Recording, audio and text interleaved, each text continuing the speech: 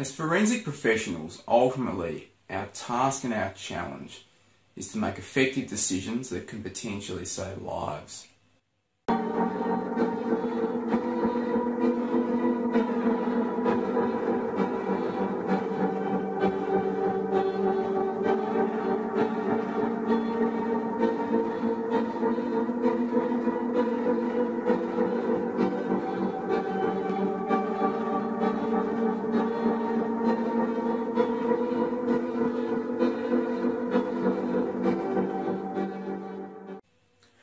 Thinking about cases such as stalking, domestic violence, or even with the rise of terrorism and lone actor violence now, nothing is more important than our decision making.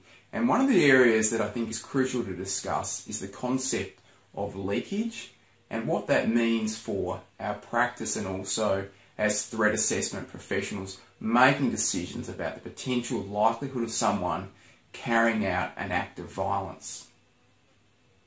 Leakage was first coined by Mary O'Toole in her study on school shootings. And really, what it pertains to is the unintentional or intentional revealing of information, whether it be thoughts, feelings, or even attitudes or behaviour that might indicate an intention or a pending likelihood of acting in a violent manner. Now, in terms of looking at leakage specific to terrorism or lone actor violence, O'Toole has since refined that along with Meloy, and really leakage is now around the idea of expressed intent to commit harm. So there's a global or broader definition where we can get bits or snippets of information that may be reflective of a pending desire or a pending intent to commit violence, or we can have direct communicated intent to a third party where that reveals information about the person's intent to carry out the violence. Essentially, what we're talking about is when, where, what acts, what target, and ultimately, what is the intent of the individual. So, leakage fits into what we would describe as warning behaviours. So, this could be things such as high risk indicators, pre intent signals, telltale behaviours, red flag indicators, or what we'd also coin as accelerant patterns.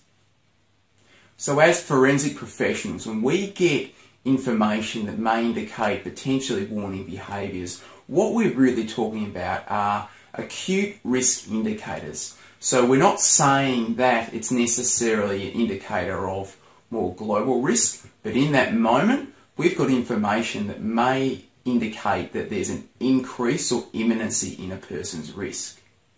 So alone this information isn't diagnostic, but it could indicate that there's been a fluctuation in the person's risk profile and that they may be on an accelerant rate or an accelerant pattern towards engaging in a form of violent behaviour. So we're talking about a change in their baseline behaviour. So some of the things that we might observe are changes in unconscious or conscious fantasies, shifting in emotional states, psychological preoccupation or fixation or grievance on a certain topic or even object or place. And when some of these factors also coincide with deterioration in mental health, then there can be cause for concern. So ultimately, this leakage or warning type behaviour and information really is something that we need to consider and it needs to then guide our decision making about where we proceed to next with this individual. Now, leakage can have broader application, but it can also be one of many warning behaviours.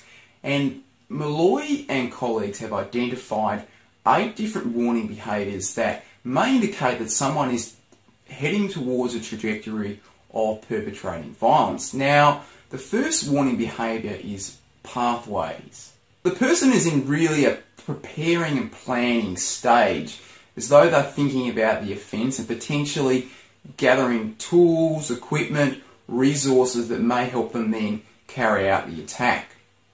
The second type is fixation, and essentially what we're talking about here is a person having a pathological fixation on either a person, a cause, or even something more global such as an organisation.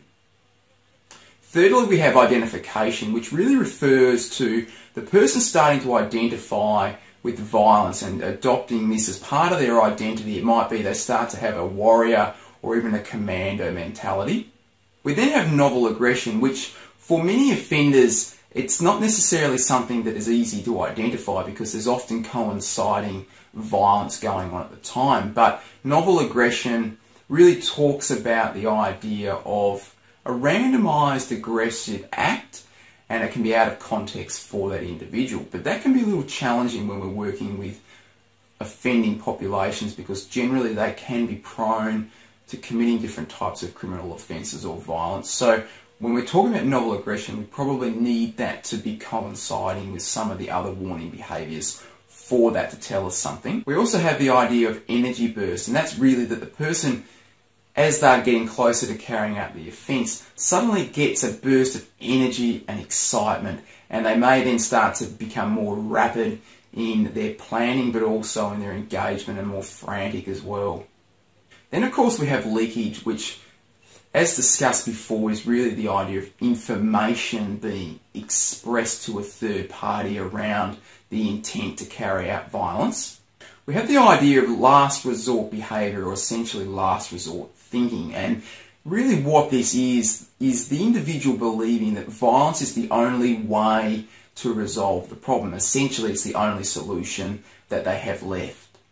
And lastly, we have a directly communicated threat, and that might often be signalling that there's a potential likelihood of carrying out violence, making a direct threat, which may be at someone specifically or it may be more broad and more global. But it's again, it's expressing that there's an underlying pathology evident and there's an underlying intention for that person to carry out the violence. So a direct threat may not always be indicative of the person going to carry out that exact threat, but it's reflective of an underlying intent that's simmering and emerging for that individual. So the warning behaviours towards pending violence are really valuable tools to understand, and as practitioners, we need to have an awareness of how these acute changes and, acute fluctuations in risk may present in an individual. And we can look at it as warning behaviours, but we can also look at it as we are going to get snippets or leakage pieces of information through our engagement with whether it's clients, whether it's through assessment, or even whether it's law enforcement working with offenders. This information will come in, and our job is to make sense of that. And understanding that these snippets of information provide valuable clues and insights into where a person is currently at is really something that's at the forefront of forensic practice.